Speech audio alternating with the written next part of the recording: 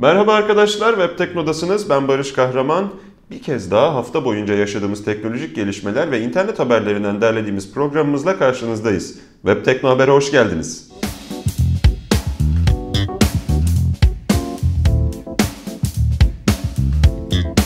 Biz ülkemizde internet erişimimizi engelleyecek ve internet ortamındaki özgürlüğümüzü kısıtlayacak olan 5651 sayılı kanunun Cumhurbaşkanlığı tarafından onaylanmasını beklerken Google tüm yer kürede internet erişimini daha özgür kılacak uProxy adlı hizmetini tanıttı.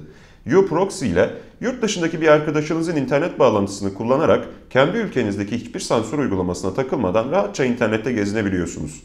Henüz sadece tanıtım aşamasında olan uProxy'nin ne zaman hizmete gireceğini ise henüz bilmiyoruz. Geçtiğimiz hafta sonu yalnızca iki gün içerisinde internet tarihinin adından en çok söz edilen oyunları arasına girmeyi başaran ve hakkında çok da güzel şeyler duymadığımız Flappy Bird hafta başında yayından kaldırıldı.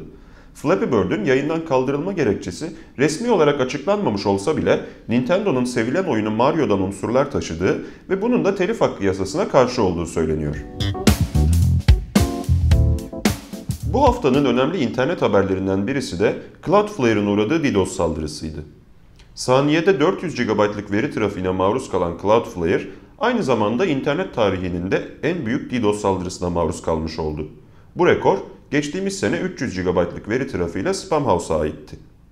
Bu haberi buraya niye koyduk diye düşünebilirsiniz. Ancak hafta içinde herhangi bir internet sitesine erişim sağlayamadıysanız sebebi Cloudflare'a yapılan internet saldırısı olabilir.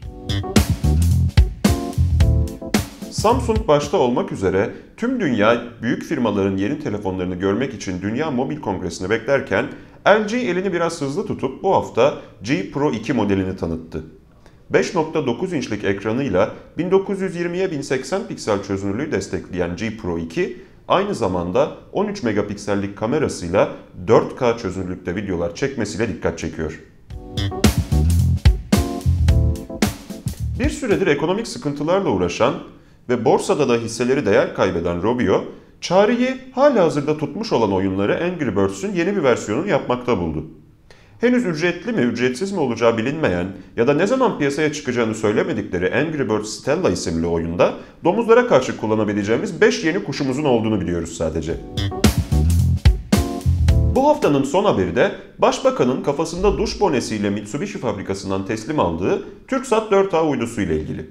TürkSat 4A, Afrika'daki insanlara Türk kanallarını izletmek için 14 Şubat Sevgililer Günü'nde Kazakistan'daki Baykonur uzay üssünden yörüngeye fırlatılacak. Henüz hangi kanalları izleteceği ya da hangi sansürlerin Afrika'ya da uygulanacağı bilinmese de TürkSat 4A, Türk yayıncılığının dördüncü uydusu olarak yörüngedeki yerini alacak.